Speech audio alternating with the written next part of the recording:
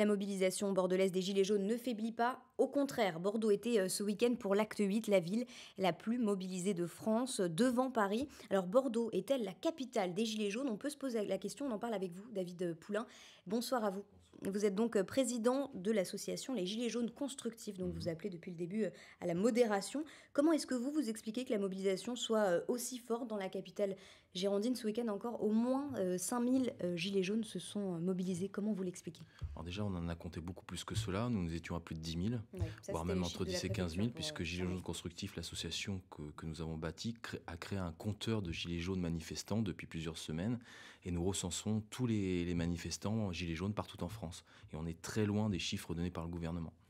Et ensuite, la seconde chose. Plus, euh, oui, beaucoup plus. La, semaine dernière, on était à 388 000 en France très loin des 50 000 euh, donnés. Donc, euh, et on le voit d'ailleurs à Bordeaux, lorsqu'on va les manifestants, euh, le cours de Victor Hugo est plein, une partie de la place de la Bourse est pleine, jusqu'à la place de la Victoire. Donc on s'aperçoit qu'il y a beaucoup, beaucoup, beaucoup de monde. Et en plus, il y a plus de monde que la semaine dernière. Alors c'est ça, comment ça se fait? Comment on explique que ce mouvement, on, pensait qu'il allait faiblir, finalement, on a l'impression qu'il grossit. rien ne calme la colère des Gilets jaunes, finalement, et en particulier à Bordeaux. Pourquoi? D'où viennent ces manifestants à Bordelais? Alors déjà, on y voit deux origines. La première, elle est agricole, parce que Bordeaux est quand même un centre viticole, et autour de, autour de Bordeaux, vous avez beaucoup de, départements agricoles. Mm. Donc ce sont, il ne faut pas oublier que les agriculteurs souffrent énormément depuis des années par des retraites qui sont très faibles et par des revenus qui sont parfois plus faibles que leurs propres retraites qui sont déjà très faibles. Donc, la Dordogne, le Lot-et-Garonne par exemple, qui sont des départements très pauvres. La Charente, Charente-Maritime. Euh, Il y a beaucoup de manifestants à Bordeaux qui viennent de d'autres départements que la Gironde finalement. Oui, mais même de Gironde parce que vous avez la viticulture, souvent on pense aux grands châteaux, mais beaucoup de châteaux souffrent notamment ceux qui exportent, parce qu'on avait une monnaie, enfin, on a une monnaie qui s'appelle l'euro, qui est trop fort pour les exportations, et donc vous avez une pression sur les marges au niveau des viticulteurs. Donc on retrouve tous ces gens-là donc euh, à Bordeaux. Et ensuite, il y a une deuxième conséquence, c'est la forte hausse des prix de l'immobilier, qui ont délocalisé plusieurs habitants, qui ont dû quitter la ville, qui ont dû s'expatrier au plus rapide. Moi, j'habite à Embarré, c'est la grave, donc ils sont venus sur la rive droite et qui doivent prendre la voiture pour mmh. venir. Et ceux-là, encore à Embarré, c'est la grave, on est à 15 minutes de voiture, mais la plupart sont allés à Saint-André, à Libourne, à Blaye ou à Langon. c'est aussi l'effet LGV, l'augmentation des prix des loyers. Il y a une espèce euh, de, sentiment d'exclusion de la part euh, de, ces Bordelais qui ont dû euh, s'excentrer pour aller habiter souvent dans la campagne et qui viennent travailler à Bordeaux. Ils ressentent une espèce d'injustice entre Bordeaux finalement qui, accumule les richesses et le reste de, de la Gironde, c'est ça ce que vous dites? C'est complexe parce que par exemple quand vous gagnez 1200, 1300 euros par mois, comment vous faites pour vous loger sur un T3 à Bordeaux? Il n'y a plus rien en dessous de 700 euros, c'est très compliqué. Bien sûr, vous bénéficiez de l'APL, mais l'APL va être rogné. Vous bénéficiez du prêt à taux zéro, mais le prêt à taux zéro va être rogné, puisqu'on sait que le, prêt à taux, zéro va, être reporté jusqu'à 2021 et certainement jusqu'à 2023, mais au-delà, il risque de disparaître.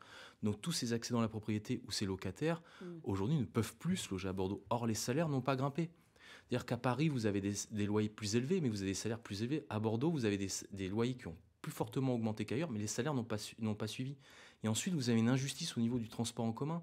Par exemple, moi j'habite à Ambarès-et-la-Grave, on n'est pas très bien desservi, alors qu'on est quand même dans, dans l'ex-cube, ce qu'on appelle Bordeaux Métropole. Et là-dessus, quelque part, on a voulu faire en sorte qu'il y ait de moins en moins de voitures à Bordeaux, mais quid à côté des transports en commun? Donc les personnes qui sont obligées de s'expatrier, entre guillemets, c'est-à-dire mm. quitter Bordeaux, se retrouvent plus loin, bien sûr avec des loyers plus accessibles, mais ce qu'ils gagnent en loyer, ils le perdent en transport en commun. Donc ils ressentent vraiment une, injustice vis-à-vis de ça. On en était euh, ce week-end à l'acte... Transport en commun et en voiture, pardon, en coût de carburant, excusez-moi. Oui, hmm. l'acte 8 du mouvement euh, ce week-end, pour vous qui appelez à la modération depuis, depuis le début, euh, qu'est-ce que vous pensez de, des violences qui sont finalement encore présentes, souvent de plus en plus présentes qu'est-ce, que, qu'est-ce que vous en pensez? Est-ce que vous appelez quand même le mouvement à continuer un acte 9 et ainsi de suite? D'abord, euh, l'association Gilets constructif et sans, sans ambiguïté, nous condamnons tout acte de violence.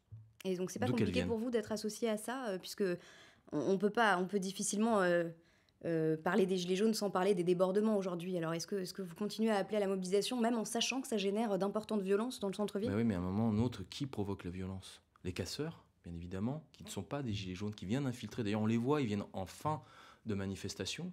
Et ensuite, il ne faut pas oublier que la mobilisation démarre sur les problématiques de pouvoir d'achat. Et aujourd'hui, rien, il n'y a aucune réponse. Et puis, une deuxième responsabilité de la violence, c'est le gouvernement. Hmm. On répond par le mépris et l'arrogance. On n'écoute pas son peuple. Je vous rappelle que nous sommes dans la Ve République, que le général de Gaulle a créé les institutions de la Ve République avec un président qui rassemble les Français. C'était ça l'esprit de la Ve République. Est-ce qu'il n'est pas temps de dialoguer maintenant plutôt que de manifester avec quelqu'un qui n'a pas envie de dialoguer, c'est compliqué. Et, qui est qui? Personne ne représente les par exemple les cahiers de doléances, on va en faire quoi? Vous savez, on n'est pas dupes. Les cahiers de doléances, elles sont faites tout simplement pour calmer les choses et peut-être reporter les décisions s'il devrait en avoir. C'est ce qu'a fait un roi il y, a, plusieurs siècles et on a vu les conséquences. Je crois qu'on connaît toutes les doléances des Gilets jaunes. Je crois qu'au contraire, il faut agir très vite, il faut prendre des mesures très rapides et notamment des mesures symboliques. Un exemple de symbole qui serait très fort, c'est abroger les privilèges des élus et des anciens élus. Hmm. Ça serait aussi d'envoyer un message très fort dans les classes moyennes au niveau du pouvoir d'achat. Ça serait aussi de geler les impôts en France parce qu'on paye plus d'impôts en France que dans le reste du monde, alors même que les services publics se dégradent. Donc on paye plus pour avoir moins. Et ça, c'est plus acceptable. Et le grand débat lancé euh, par euh, le gouvernement, qu'est-ce que, qu'est-ce que vous en pensez? Ça va faire avancer les choses? Alors sur le grand débat, oui, c'est déjà un premier pas. Cela dit, on vient juste d'apprendre que Chantal Joanneau, qui est quand même un ancien, une ancien ministre, euh, elle sera payée près de 15 000 euros par mois. Je crois que c'est un message très négatif qui est envoyé. Et nous, on se demande si on va y participer dans ces conditions-là. Je crois que si le grand débat est fait pour en sortir des, des, réformes et des mesures, pourquoi pas à moyen long terme, s'il est fait au contraire pour euh, essayer d'étouffer et d'endormir la situation, c'est un, un, mauvais choix euh, tactique de la part du gouvernement. Cela dit, avant le grand débat, il faut envoyer des mesures très fortes comme je vous l'ai dit, des mesures notamment sur le pouvoir d'achat. Et vous voyez, à la grave, je discutais avec un retraité qui, va, qui perçoit 900 euros par mois. Ben là, il a été augmenté d'un euro par mois. Vous croyez qu'il va attendre six mois du grand débat, peut-être avoir peut-être 10 ou 15 euros par mois de plus? Non, c'est pas possible. Ces gens-là ont besoin d'avoir une réponse rapide. Le président doit être le président qui rassemble tous les Français. C'est son rôle et aujourd'hui, il les divise. Une dernière question, euh, David Poulain, comment ça va se passer euh, samedi? À quoi faut-il s'attendre pour ce neuvième acte? On va continuer à se mobiliser pacifiquement et dès qu'il y aura des actions de violence, on se retirera automatiquement et on laissera les forces de l'ordre euh, agir contre les casseurs parce que les casseurs n'ont pas leur place dans cette manifestation. Nous sommes là pour construire un pays plus fort et pas pour le casser. Merci beaucoup David Poulain, président donc des Gilets jaunes constructifs. Vous appelez donc un, neuvième acte de mobilisation pacifique. Et bien sûr, ce week-end, vous restez avec nous sur TV7. On se retrouve dans un instant pour un nouveau journal. Ժոներ։ Thank you